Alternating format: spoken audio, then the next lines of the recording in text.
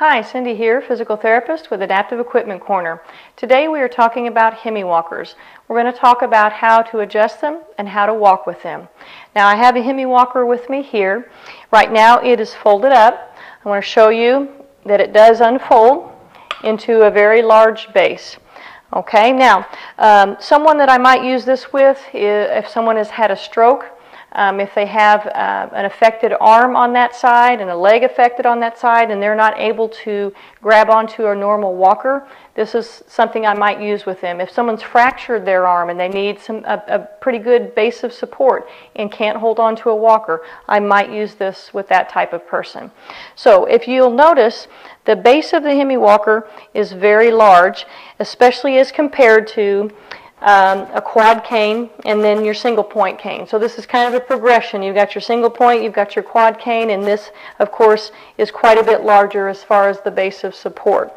Now, to adjust a Hemi walker, you are adjusting it very just the same as you do a walker or a cane.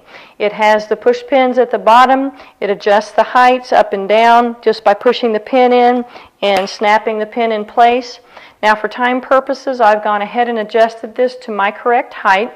If you need a review of how to adjust this, please look at either the video on how to adjust a walker or how to adjust a cane because that's how you adjust um, this device here. So I've set it um, for my height. When I stand up nice and tall, it's going to hit me at wrist level. Okay, so let me show you how to walk with a Hemi walker.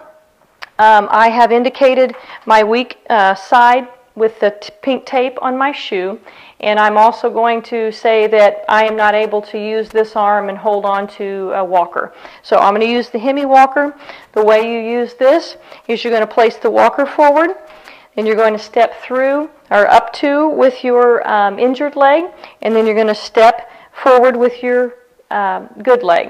You're going to place the walker again you're going to place with your, or step forward with your injured leg, then you're going to step forward with your good leg, okay? You can bear quite a bit of weight on this Hemi walker as you're stepping to.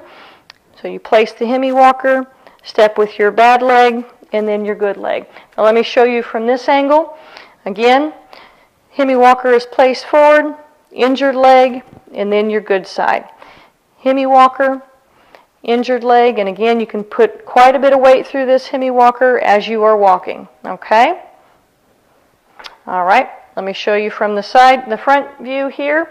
And as you can see, this Hemi walker can be used either on the right side or the left side. There's no special adjustment when you change sides with this. So that's how you use and adjust the Hemi walker. That's it for today from Adaptive Equipment Corner. Thank you for joining us, and don't forget, if you can't do it, adapt it.